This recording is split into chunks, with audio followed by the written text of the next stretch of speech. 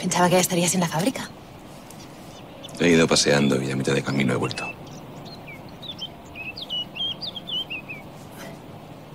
¿Qué ocurre, amor? Antes, cuando hemos hablado de tu padre, del día en que murió, no fui del todo sincero. María, tú siempre dices que las cosas hay que hablarlas y no guardárselas. Y lo que te voy a contar lo llevo guardando demasiado tiempo y, y me pesa. Me estás asustando.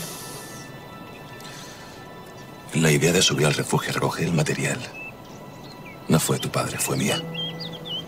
Es más, él pensaba que era muy arriesgado. Yo le insistí porque pensaba que la ventisca de nieve ya había pasado. Pero si tú siempre has sido tan prudente como mi padre, o más. Ya. Pero me equivoqué en mis previsiones y. y cometí una imprudencia. Yo le pedí que me acompañara. Subimos hasta arriba. Hasta el cerro. El viento cambió de dirección. Y la ventisca nos arrastró hasta el desfiladero. Tu padre no había cortado. Intenté salvarle, te lo juro.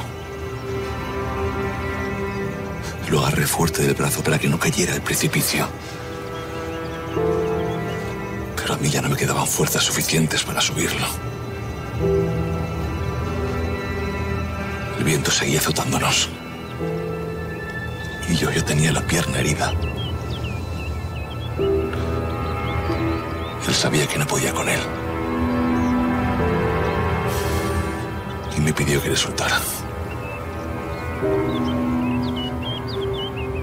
María, me negué a hacerlo. Así que él decidió por mí. Y lo hizo. Se soltó para no arrastrarme al abismo. Me salvó la vida con su muerte. Tu padre murió por mi culpa y eso jamás me lo voy a perdonar. Por eso me cuesta tanto hablar de lo que pasó y de los buenos recuerdos que tengo de él.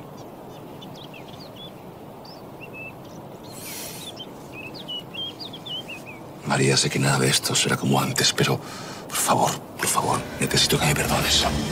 Thank you.